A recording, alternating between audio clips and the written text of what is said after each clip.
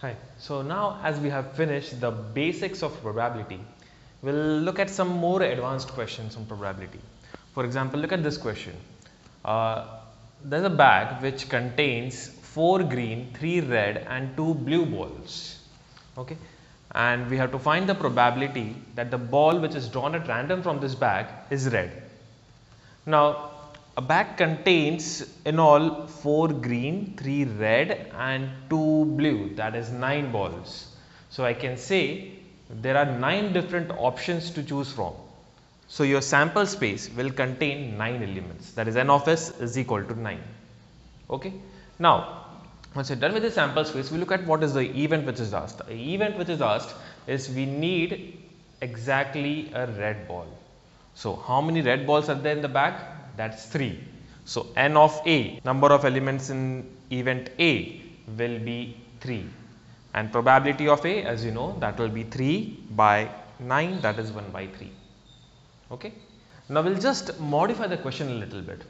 Uh, we have the same bag, same number of balls. This time two balls are drawn at random okay, and we have to find the probability that both are red. Now, we have to draw two balls. Now the question is to be solved using the combination. Now your sample space this time we have to draw two balls from 9. So n of s will be 9c2 in all 9 balls and 2 are to be selected from 9. So that gives you 36 and we need exactly 2 red balls. Total red balls are 3 and we need to select 2 from them. So the number of elements in the event n of A will be 3C2 which is 3. Now, the probability of event A will be 3 by 36 that is 1 by 12. This is how we solve probability using combination. So, now we will have a look at some questions which are based on conditional probability. Now, have a look at this question. There is a bag which contains 3 red and 4 blue marbles and two marbles are drawn at random, we have to find the probability that if the first marble drawn is red, then the second marble is blue in color. Okay. Now, there are two events which are happening. The first event that the first marble which is drawn is red in color and the second marble which is drawn is blue in color. Now, when the blue marble is drawn we have already drawn a red marble from the back. So, the number of ball has decreased, right. So, the probability of the second event depends upon the probability of the first event. So, this is called as conditional probability and such events are said to be dependent events. Okay. Now, we will look how to find out the probability. Now, the probability that the first marble drawn is red in color that is simple that is 3 by 7 because there are total 7 marbles and 3 red marbles are there. Now the probability that the second marble is blue in color. Now we have already drawn a marble from the bag. So the number of marbles is 6. Okay. And from that we have to draw a blue marble and number of blue marbles is 4. So the probability of drawing a blue marble when the red marble is already drawn we indicate it by probability of B by A that is conditional probability is given by 4 by 6. So, the final probability that the first marble is red and the second marble is blue is given by simple multiplication of probabilities 2 by 7. Okay? Now, we look at another question of this type. There is a bag which contains 5 green and 7 yellow pencils we have to find that if two pencils are drawn, both the pencils are of yellow color. Okay. Now, the probability that the first pencil drawn is of yellow color is 7 by 12. There are 7 yellow pencils and total 12 pencils are there. Once the pencil is drawn, now the bag contains just 11 pencils. Now, the second pencil drawn is also need to be also needs to be of the yellow color right. So, now there are 6 yellow pencils from 11 total pencils.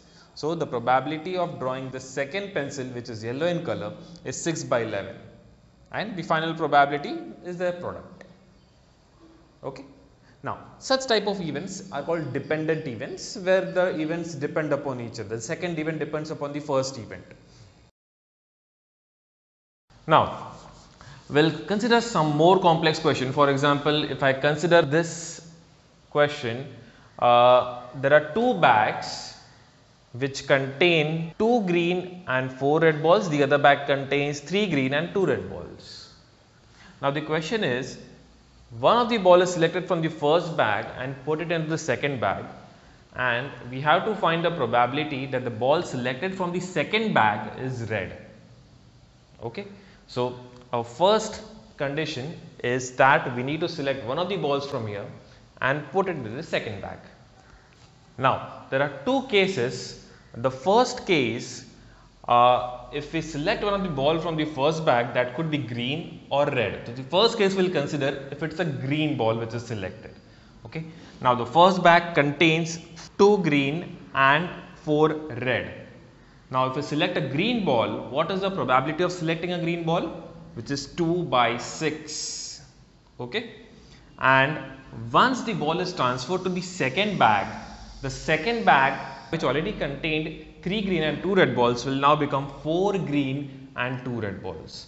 Now the probability of selecting a red ball from this will be 2 by 6. Now if you multiply both the probabilities, we will get what are the chances or what is the probability of selecting a red ball if a green ball is transferred.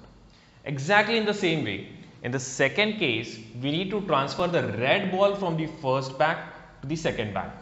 Now, what are the chances of selecting a red ball from the first bag? It is 4 by 6. Okay. So, this is the probability that we select a red ball and red ball is transferred to the second bag. Now, the second bag will contain 3 green balls and 3 red balls. Now, what is the probability of selecting a red ball from there? That is 3 by 6. So, if you multiply both of these, we will get the probability of selecting a red ball if a red ball is transferred. Now, we have solved these two different cases. So, finally, the probability of selecting a red ball from the second bag is given by the addition of these two cases okay? and the final probability will be this. So, this is how the probability is calculated. Now, we will look at an example where the events are independent of each other. For example, look at this question the probability of A, B and C hitting the target is 3 by 4, 1 by 2 and 5 by 8. Okay. Now, if A hits the target, it is not necessary that B misses the target or B hits the target, right. So, the probability of B hitting the target does not depend upon whether A hits it or A does not hit it.